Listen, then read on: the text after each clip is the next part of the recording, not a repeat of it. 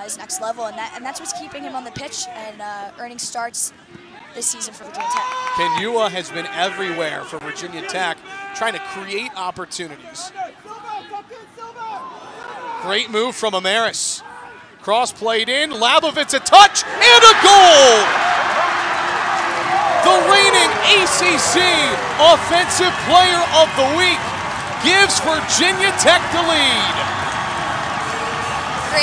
There from Amaris, getting wide, taking his player on, and not the best service into the box. Was slightly behind Labovitz. I thought he was going to lay it off to the top of the 18, but that's a striker's goal right there. As we'll see here, Labovitz is able to turn, doesn't even look at the goal. He just knows where it is. That's a striker's finish right there. 1-0 Virginia Tech. Another look from behind the goal in the net.